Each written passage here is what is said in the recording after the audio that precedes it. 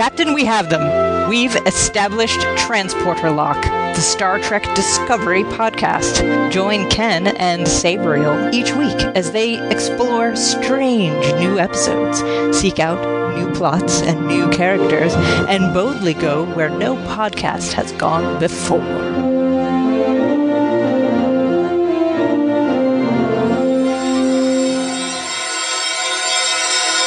Hello and welcome back to Transporter Lock, your Star Trek podcast. I'm Ken, and joining me is my co-host Sabriel. Hi, Ken. How's it going? Ah, Sabriel, I missed being on the air with you last week. I know, right? It was weird. It was like, it was like we didn't even have a good cliffhanger to get people like, excited. I know, like you should have just ended the show with fire.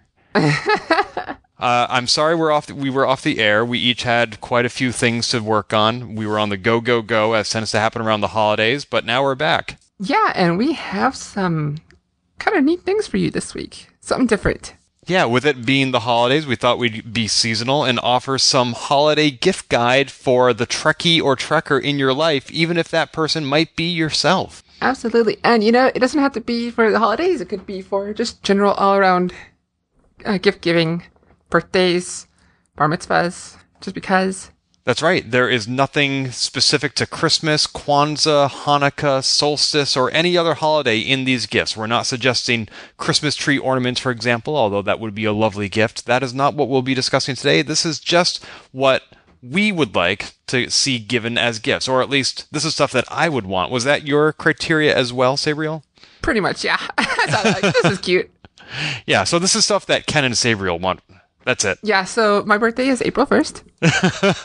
Mine is not yep. long thereafter. but no, this, there's no Amazon wish list for this. We're drawing from a bunch of several online retailers. We will mention that there will be links in the show notes at transporterlock.com to find all these items.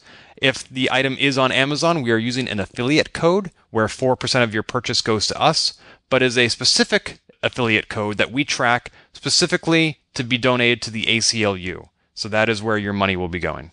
Yeah, I think it's a good cause, and you know, just a little bit to help them out. All the better. I think they are one of the many organizations that supports the Star Trek philosophy of infinite diversity and infinite combinations. Also, we will not be divvying these gifts up by price tier. That's not how we're going to be presenting them to you on today's show. We're going to be going through categories, and those categories are I feel like Alex Trebek right now DVDs, apparel, accessories, kitchen, books, toys and miscellaneous, and potpourri. And potent potables. Oh. and what? Potent potables. Potent potables. Is that what Jeopardy uses now? I thought it was potpourri. I think it was both. well, either way, I hope I would do better on Jeopardy than Cliff Clavin did. now, you see, the thing about Cliff Clavin being on. oh, wait, no, no, not going to do that. I, I recently went through all 11 seasons of Cheers. Oh, I love Cheers so much. so did I. Did it ever really jump the shark? No, well, yes, uh, you know, some seasons were kind of less lesser. Like, all right, Diane and Sam, we know it, we get yeah. it, and then, okay, we get it.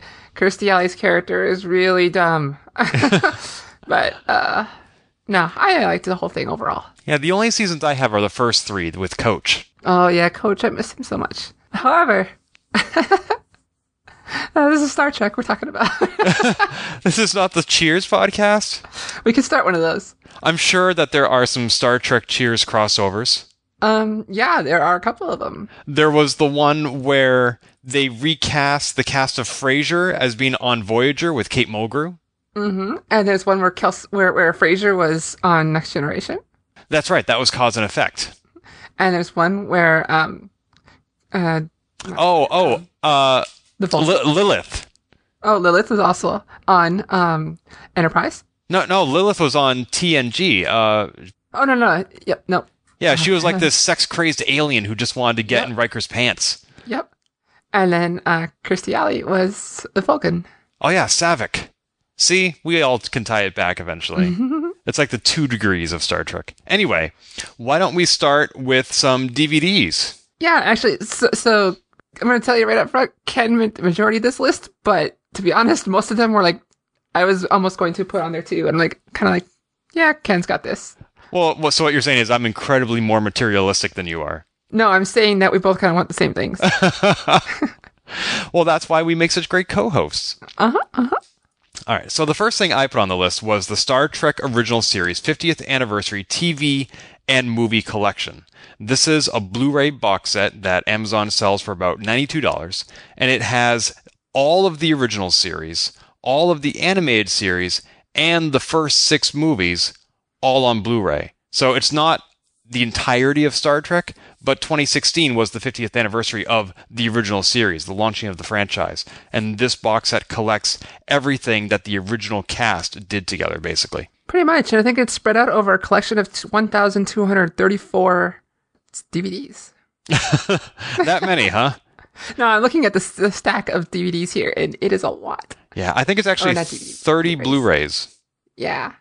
But there's a lot of great material there. And, you know, some of us have a bunch of this already, but this is a pretty nice set, actually. When this first came out, I think it was the only way to get the animated series on Blu ray. I think it has since been parceled out as a standalone, but at the time, this was it. Not that I don't think you're really getting much of a higher quality product than having it on DVD. But if you like Blu ray. Yeah, I've always wondered unless you're going to remaster a show and it's from the 60s or 70s, is there really a big jump in quality from standard definition to Blu ray? Probably not, unless they actually take the time to clear it up, yeah. Right. So it has to take some effort on their part, but it's not like we were broadcasting in Blu ray quality back then. that would have been quite the temporal anachronism. I know, right? uh, we have another box set here. Do you want to talk about that one? Yeah, so we have the Kelvin Timeline box set that has all three movies on it. And you know, I didn't actually see so so one of the problems with all the disc releases of these movies is that they lack features depending on where you buy it from, which annoyed so many of us. And I can't tell if this one actually features all the bonuses or not. Yeah, retailer specific content is terrible. They do it in video games as well, and I'm not a fan of it. I understand the incentive, but I don't like it as a gamer, as a consumer. And they've been doing that with some of the Star Trek movies as well. In fact, I have multiple copies of some Star Trek movies for that specific reason. Uh, I already own Star Trek and Star Trek Into Darkness. I think I bought Star Trek Beyond separately, or I'm going to if I haven't already. But part of me wants to buy this box set just to have everything so compact, and then I'll have like three copies of everything. yeah, I I held out. I was one who's like, no, I'm protesting with my dollars, and did not buy Star Trek and End Into Darkness until they put it all on a collection disc of everything. After the complaints, they're like, okay, okay, we heard you. Here you go. In fact, I think it was your recommendation that led me to buy that specific box set. Do you own Star Trek Beyond? I do not yet, and I think it was the same reason. I think they pulled it again, and so I've been in no hurry. And like, fine. so if bonuses or extras are not important to you, you can just get this box set. And of course, we have talked on this show about how almost all Star Trek can be streamed from umpteen million different services, CBS, Netflix, etc. For me personally, I like owning the content, being able to watch it whenever I want without an internet connection, and knowing that the content won't be compressed or buffered. Totally get that. Totally get. That. I, I like the convenience, but I, if I were to, but I like, I prefer the discs for like things like Star Trek, so I can watch whatever I want. We've talked about how difficult it was for me to watch Star Trek Discovery with my mom at her house because she is not very internet equipped, and there are no DVDs of Discovery. With these box sets, I have the original series and TNG box set Blu-rays.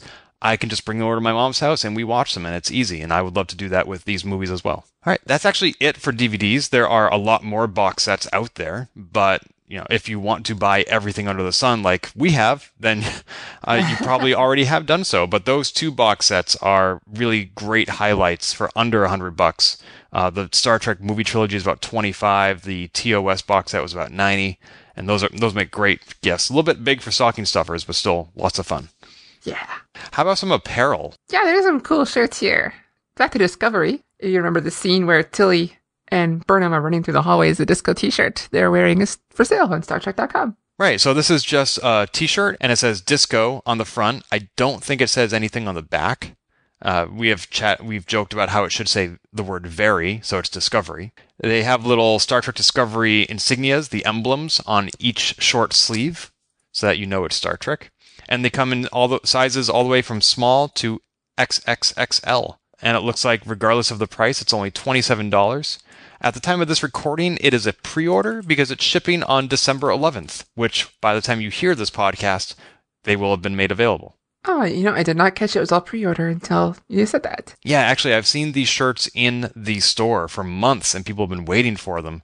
And now it's coming out tomorrow at the time of this recording. Awesome. Yeah, it's weird though. Some people are reviewing it on the Star Trek store, and they're saying that their shirts fit perfectly. I don't know how they would know that if this was pre-order.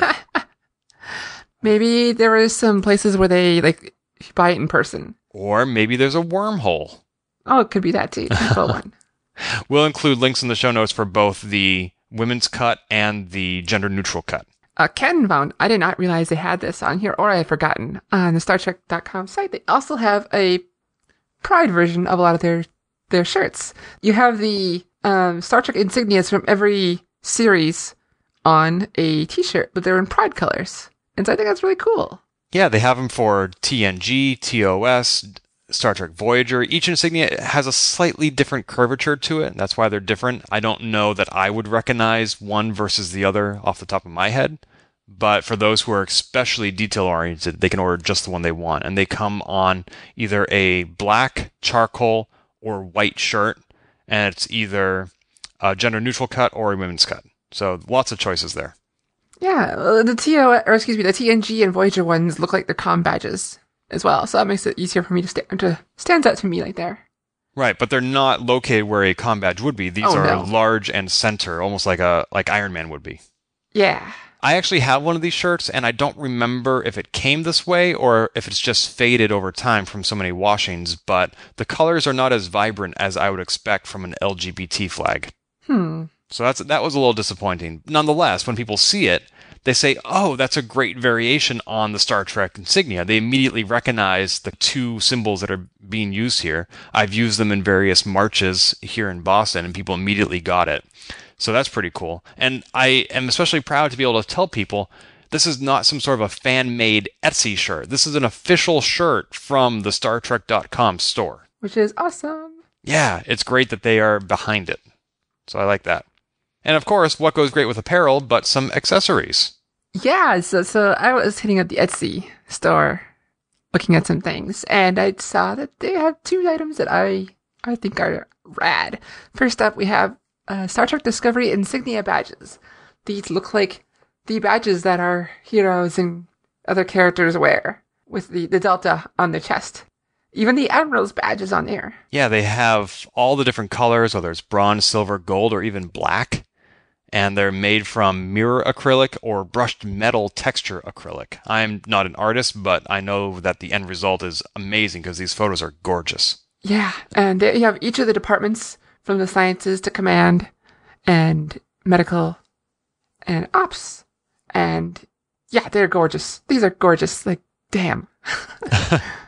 Yeah, they look uh, for for a size comparison. They're about three quarters tall, which I think is smaller than a Smurf. Three quarters, uh, three U.S. currency quarters. Yes, that's right. Not three quarters of a what? Oh, that's right. I'm sorry. Right, right, right. uh, regardless, it's still smaller than a Smurf because I think those are three apples tall. and I didn't even notice until I was looking at these, as you just said, the various departments, medical operations, etc. They actually have different insignias. Like the medical badge has a little cross on it. Yeah. I never even noticed that. Oh, yeah, yeah, yeah. So each one is ten dollars. From the pictures, it almost looks like you're buying a set, but it's ten dollars each. Unless you want Admiral or Starfleet Command, those are twenty and twenty-five. And you can choose your rank, anything from insignia to commander to captain and others, or to blank. So, yeah, this is pretty cool and relatively cheap. Yeah, I would like to see a picture of the back of these because I'd like to know what they connect to or how they attach. Like, is there a safety pin or a lapel on the back or something? Let's see. Oh, upon request, a magnetic strip can be omitted. Oh, there we go. Or the, ma- the magnetic strip. So there is by default a magnetic strip and it can come off. Yeah. I wonder if it's two pieces of metal so that you put one inside your shirt and one outside. I've seen Star Trek badges like that actually, I think that's how it is. so that you can just attach it to anything without poking holes. Awesome. Nice find. It says almost gone. There's only three left. Maybe that's the specific badge I've chosen. No, it says that before you even do that, so I'm not sure what they mean. Maybe they, they might engrave it after Mm. they cr- carve it out. Well, with any hope, this Etsy store, Altered Alloy, will make more. Oh, and I should mention, since that is Altered Alloy and not like Paramount or CBS, these are probably unofficial, but they look pretty cool. And as long as the creator doesn't get sued, I think you can buy them in good conscience. Yeah. And by the time this episode airs, there might be one left. because there's two of us. Now, you did a lot of shopping on Etsy. What else did you find? I found some adorable earrings. They are the uh, TOS Starfleet Delta, and I just think they're cute. Only $9. There's gold and silver. They're very tiny. yeah, and you can buy them in metal, plastic, or clip on. Yeah. So if you have allergies to certain materials, that's what they're advertising these different options for. You can choose one that suits you. Yeah, short and simple, but I think they're cute. Yeah. I mean, I don't have much experience buying or wearing earrings, but if I saw somebody wearing these, I would definitely say, hey, we should get to know each other. hey. no, not like that. Just like, oh, How you doing? Sabriel, stop that. Thank you. I'm sure people listening to this will really appreciate what you're insinuating. Thank you. I was think actually I was thinking more like me, but no, that's why are you trying I, to get me in trouble? I would be doing this. Yes, if you saw somebody wearing these, you'd be doing that. Yeah, that's what I'm trying to go for. oh, I see. Okay, that's better. Shoo. All right, let's move on to things that won't get me in trouble. Uh, let's go into the kitchen. And actually, speaking of apparel, this is very similar. And unfortunately, it's uh, also unavailable. It wasn't when I added it to my Christmas wish list a while back. It is a Star Trek The Next Generation science apron. So it looks like it's like the, the, the greenish color of the sciences, and it has the Star Trek insignia on the upper left, and it's an apron for you to wear in the kitchen when you're cooking to keep all the flour and powder off your nice clothes. Unfortunately, it's listed as unavailable. There are other Star Trek themed cooking aprons out there, like one that shows the Vulcan salute, but I didn't want that one. I wanted this one because it looks like a Star Trek uniform.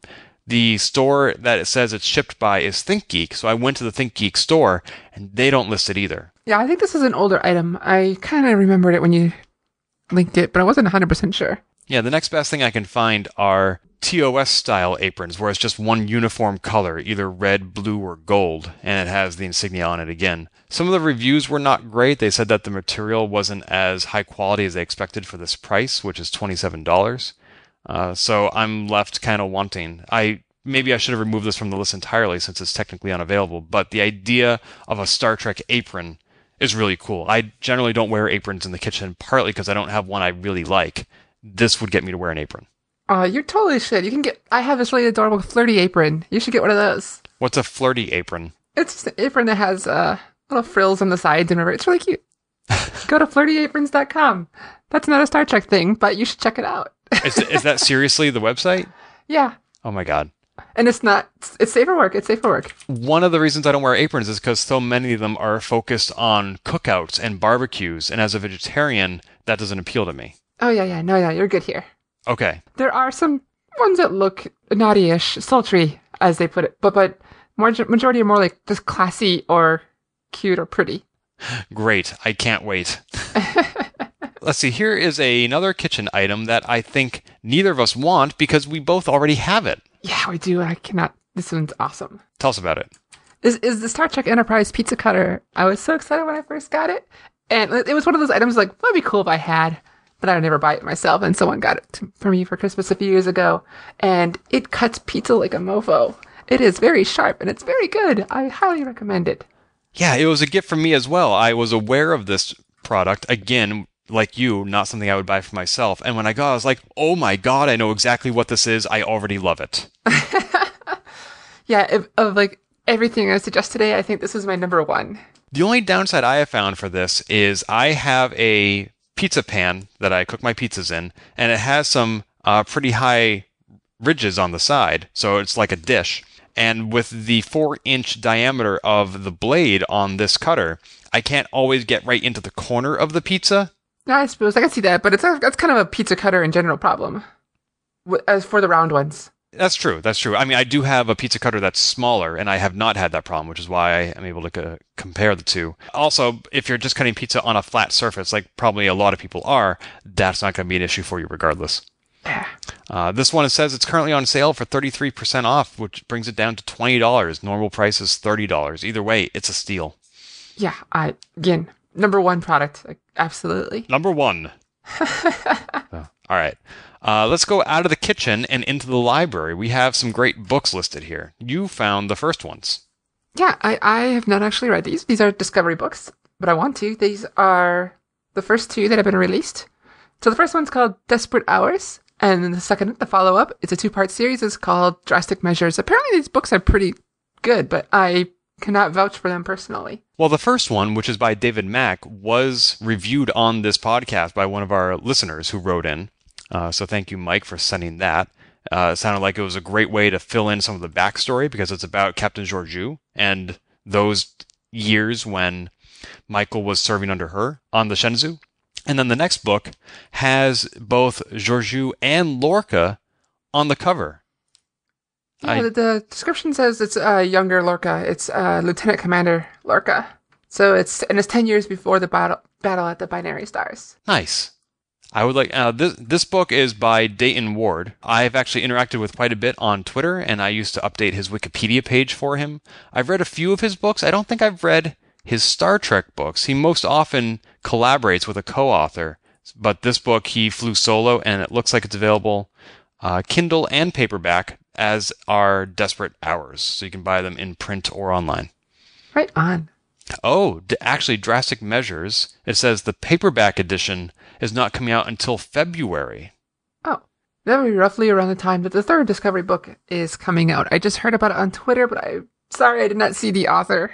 And now that I look at the Kindle edition, it says you can pre-order it one click and it'll be delivered to your Kindle on February 6th. So you can still buy it now. It still makes for a good Christmas gift, but not one that your recipient will be reading right away. Yeah.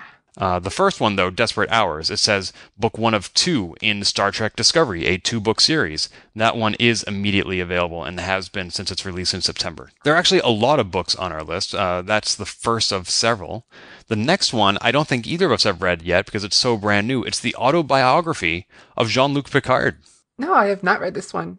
Yeah, it says the story of one of Starfleet's most inspirational captains. Neither of us have read it, but I have read some reviews of it. They seem to like it, but they say that it sort of makes an effort to tie in all these threads that were previously disconnected without mentioning some people that we do know were part of Picard's history. There's even a Star Trek Discovery Easter egg if you are a careful reader of the book. I don't know what that might be though. But nonetheless, it is available in hardcover for about $16 or Kindle for $13. That's not a huge price difference. Uh, for the extra three bucks, I'd rather have the hardcover. Yeah, that's not bad at all. And I'm a little confused. It's oh, it's aut- autobiography. I was thinking biography. I'm like, how is this a biography? Oh, he wrote it. It's by Yeah. Jean Luc Picard, as edited by David Goodman. yep, just me being a a butthead. 288 pages, not bad. Oh, and the author of this book has also written for Futurama and The Golden Girls. Oh, right there. This credits. Oh, and Enterprise. Well, there's that. Some show. It's something about Star Trek, blah, blah, blah. I don't know. All right. there were previously other books in this series by him, including the autobiography of James T. Kirk, which came out in 2015. Uh, have you read that one? No, I haven't read any, any of those. Me neither. This one is the story of Starfleet's greatest captain. like, Well. how many superlatives can you add? the greatest captain, one of the most inspirational captains. Eventually, they're just going to have one for every single Star Trek captain that was listed when Saru asked the Discovery to list the best captains ever. Star Trek's okay as captain.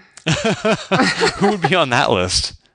Uh, let's let's say that for an episode title. Oh, I love episode. it. Okay, we'll talk about that again. Star Trek's okayest captains. Let's see. Do you know anything about this next one? It's a comic, is it? Yeah, it looks like another pre-order. I'm sorry there are so many on this list. Comes out also in February, the end of. And this is a graphic novel series. I think it collects graphic novels or comic books that are already being published or have already come out. It's called Star Trek The Next Generation Mirror Broken. You know, I am a sucker for the Mirror Universe episodes, and so I'm all about this. Yeah, I have read a whole bunch of Mirror Universe novels, uh, but this is a graphic novel. We are linking to the Comixology listing for it, which is an Amazon company. You can read the comic online for $18.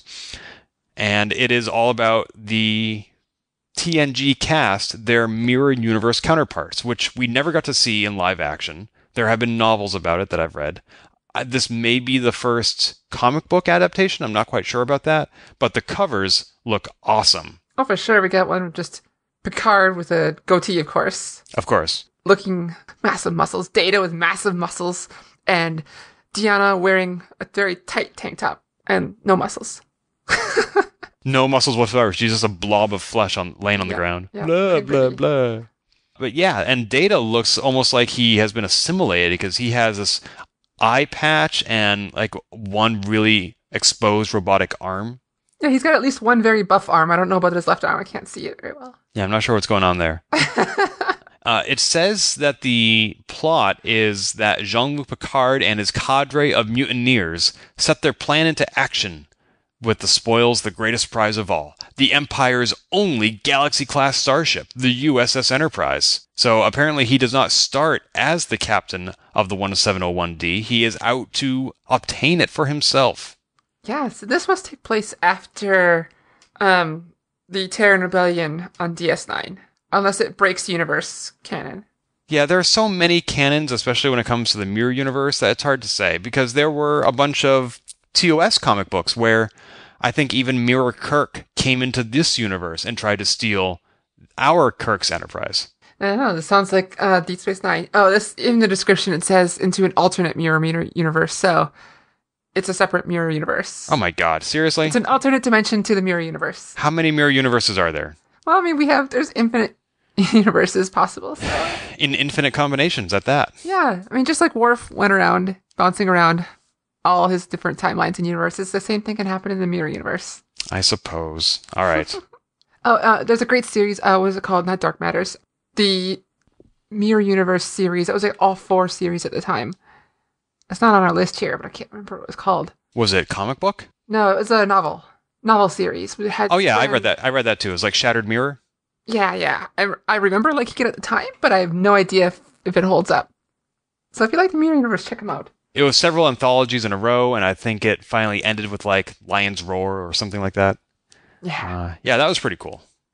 But again, none of it's canon, and we're going to encounter contradictions. Of course, of course. Uh, speaking of mirror universes and also just different timelines and different time eras, I included in this list one of my favorite all time Star Trek novels. It is not new. In fact, it is 18 years old now, but you can still buy it on the Kindle or a used copy. And that is Star Trek The Lives of Dax. Have you read this one, Brie? I have not. I just added it to my list. It's one. It's been in my purview for years, and I just never got around to it. So, of course, as we know on DS9, Jadzia Dax was the original character on that show, and she had had many hosts before for her symbiote. And we get to meet some of them either through proxies or flashbacks over the course of the seven years of DS9, including its latest host, Ezri Dax. This anthology is nine short stories, one for each host, and you get to see how the symbiote grows and evolves over the course of them and how it influences and affects the lives of each person as they start to draw upon the many centuries of lives and experiences that the symbiote comes with. Well, that's really cool. I like that idea. It really gives you the opportunity to get to know each host as its own independent character, not just as somebody in Jadzia's past. Because at some point, each host had to go through what Jadzia was going with through with acclimating to this new host. And it really puts into context who Jadzia is when you meet her. She's not just this 25 year old young woman. She's somebody who is a 25 year old woman with hundreds of years of memories and experiences. That's rad. I, I like this. I want to get. I want to read this sooner than later. I recommend it. Speaking of one of our past lives, one of them makes an appearance in the Tobin in Enterprise book in an Enterprise novel where he helps design. It was during the Romulan War, and he helps design a new series of star starships that cannot be controlled by the Romulan drone.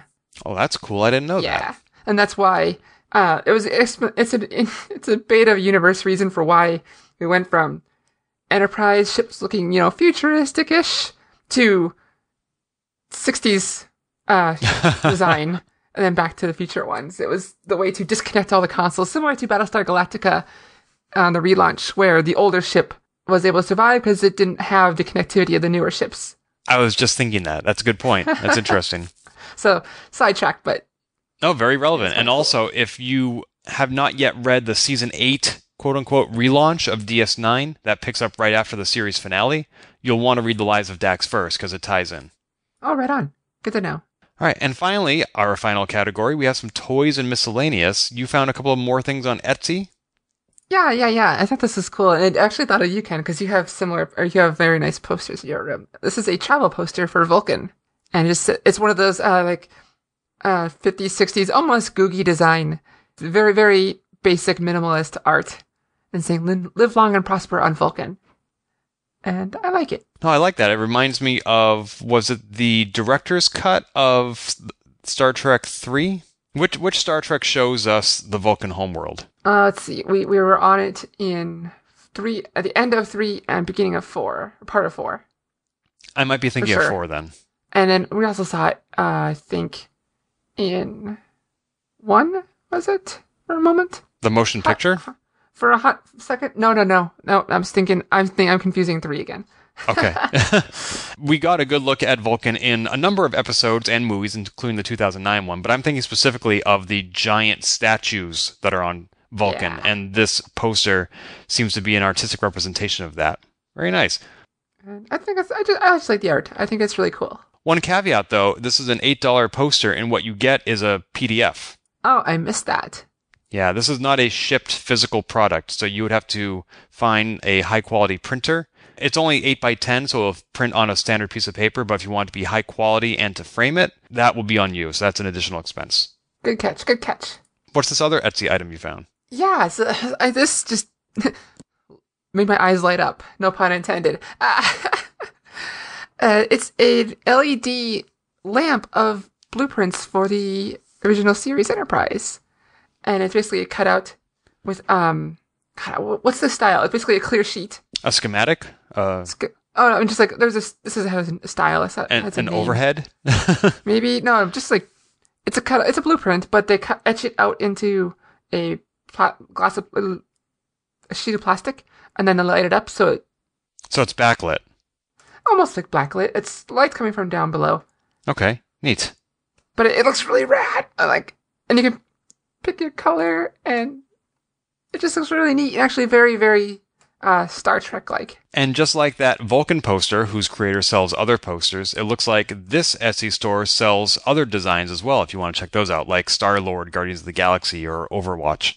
Yeah, say or Overwatch and Zelda. Ooh, Zelda. Yeah, Majora's Mask. Nice. It. I'm sure there's a name better better name for this than what I can come up with. One thing I have to call out this creator on is that he says it's perfect for your man cave. Ah, boo. Yeah, uh, there's nothing gender specific about technology, Star Trek, or these schematics.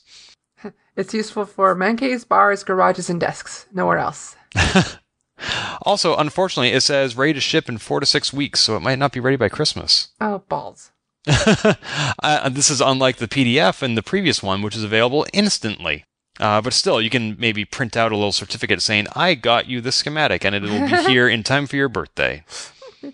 Nice. It says, yeah, these printouts or these schematics include an integrated three foot USB cable. So that's how it lights up. I'm stuck looking at the Overwatch one. and we have one last gift for the really, really special somebody in your life. And this has to be ordered by December 22nd because that's when reservations close for Star Trek The Cruise 2. Now, this is a celebrity cruise that includes George Takei, Brent Spiner, Robert Picardo, Connor Trinneer, Ethan Phillips, Vaughn Armstrong, Max Grodenchik, John de Lancie, LeVar Burton, and so many um, other amazing alumni of Star Trek. And it looks like there are two different sale dates. One is January 5th to the 11th, and the other is January 11th to the 17th. I presume everybody is going on both, but uh, so they just basically dock and then leave again. And these are all going from Miami down to Honduras, Belize, Mexico, and then back to Florida with a couple of days at sea in there. This looks incredibly affordable. It's about $75 per day per person. So if you would only pay for one day, do they like helicopter you out? No, they they throw you overboard. oh, okay, makes more sense. But they also have Phil Plait, who's really cool. Oh, the bad astronomer. Yep, and they also have um at least one actual astronaut. Is it Rob Perlman? No, no, no. Rick Searfoss. Very cool.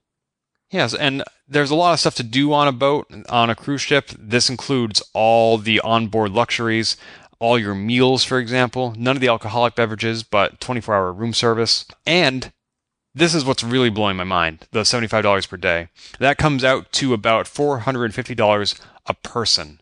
And it says that the second guest can stay for free, if I'm understanding this right. There are some promo codes if you click on pricing. Oh my goodness. Oh, maybe this would get me over my irrational fear of cruise ships. And all the various many diseases that they come with. Diseases, and when you grow up and you remember seeing cruise ships sinking a lot on TV, you know, it kind of really gets in your head. I never saw a cruise ship sinking. What are you talking about? Yeah, I could send me links. I don't think it's worth it. Wait, are these like actual real cruise ships that did this happen? yeah. Oh, that's awful. So, yeah, I have this fear of cruise ships. Let's not put those link in the show notes. My So God. Ken's like, we should go. I'm like, um, no. Great. Now everybody will hang up from this podcast terrified of cruise ships. Merry Christmas. Yeah, God. but you'll have the cruise to yourself and like 30 Star Trek stars. Oh my God, that's terrifying. They would come, they would be surrounding you. Although I will say, I went on my first cruise earlier this year. Wil Wheaton was there, and he was super nice, so accessible and approachable, so funny.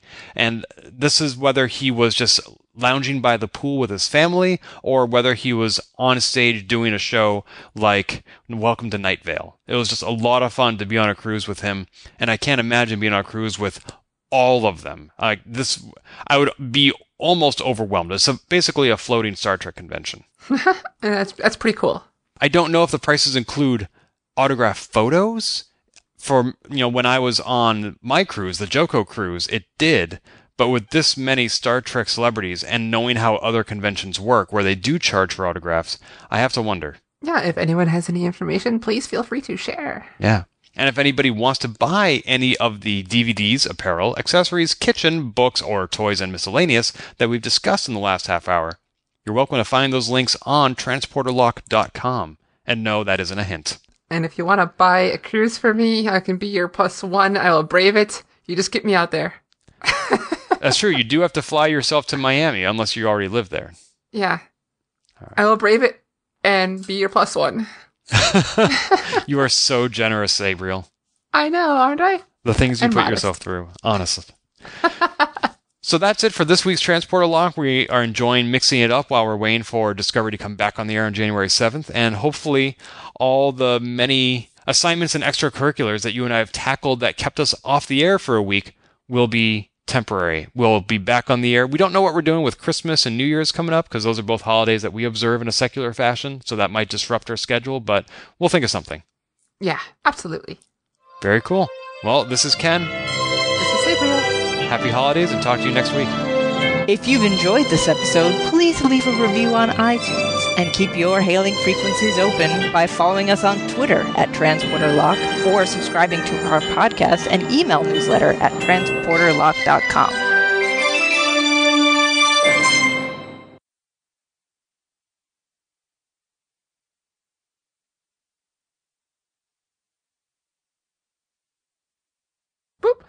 What's with all the boobs? Stay away from my nose.